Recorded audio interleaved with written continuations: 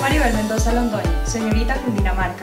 Soy una mujer valiente, responsable e inteligente, que hoy le entrega la corona a otra mujer valiente, responsable e inteligente.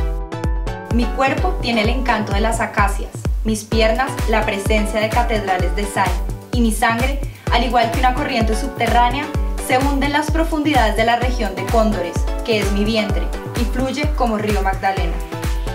La mujer cundinamarquesa tiene el vientre y los pies hechos de sol y oro.